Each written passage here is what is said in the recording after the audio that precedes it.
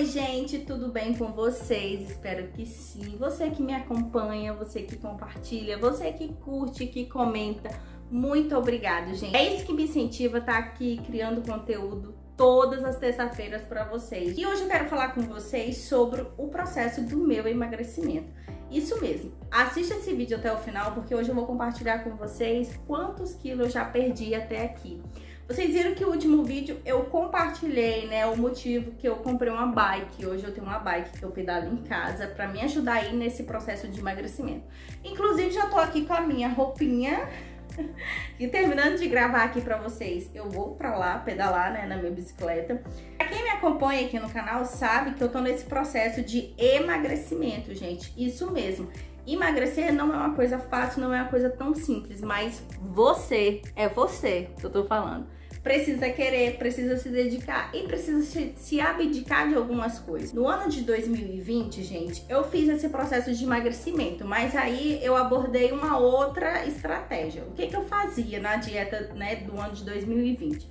Lá eu comecei a dieta com 76 quilos e cheguei até a 70 quilos. E o que, que eu fazia? Eu utilizava a estratégia do jejum intermitente, né?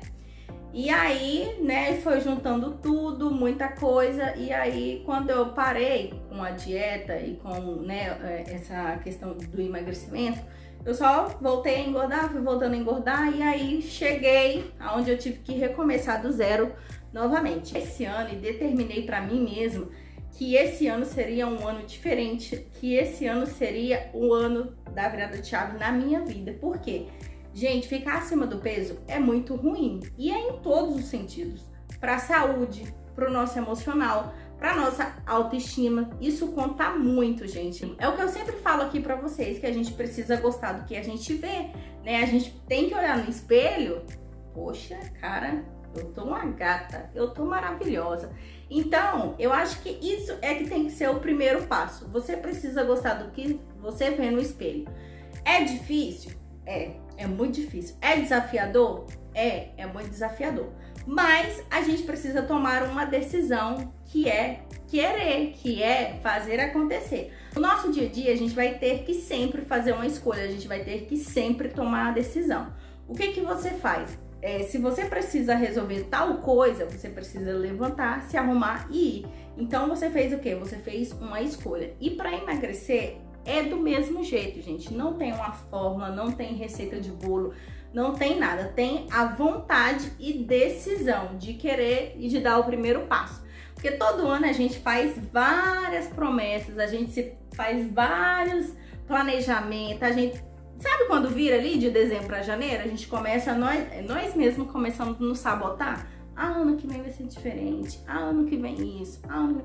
Só que falar e fazer é totalmente diferente. Então, tá aí a virada de chave. Eu comecei a fazer. Quando foi ali março que eu me mudei, me estabeleci, cheguei, falei, a partir de agora e até então, né, nessa questão de mudar, a gente, né, vai para um lugar novo, come, come, come, pum, cheguei a 82 quilos.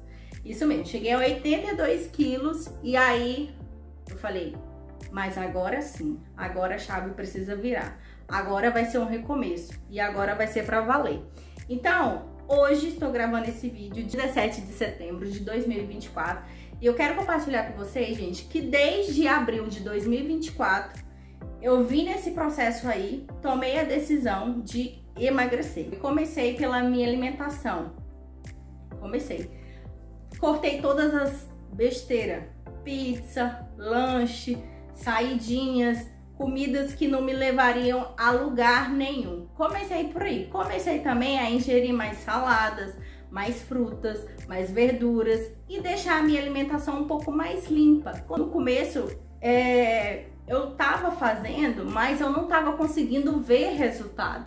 E às vezes a gente fica tão presa ali querendo tanto resultado e esquece, né, de das outras coisas. Só que, inclusive, é uma dica que eu deixo para você. Se você tá no começo, tá começando agora, se você já começar a fazer essa limpeza na sua alimentação, não importa, não se apegue a tempo, não se apegue, é, eu digo assim, não se, não se apegue à balança, não fica fissurado com essa questão de balança, porque o resultado vai vir. E aí eu falava assim, falava pro meu esposo, que não foi só eu não, gente, aqui. É, eu e meu esposo, né? Quando eu decidi que eu ia entrar e agora vai, ele agarrou na minha mão e falou, eu tô junto com você. Então, assim, é, isso é muito bom, isso é muito importante que acaba que me motiva, né, continuar. E aquele negócio, a gente precisa estar tá unido, né? O canal, o, é o que eu sempre falo, o casal unido chega mais longe. Então, é, eu peguei e comecei, e até reclamei com ele. Falei assim: ah, amor, não tô meio desanimada, não tô vendo o resultado, não sei o que. Ele, não, você tem que ter, você tem que esperar, não é assim tudo mais.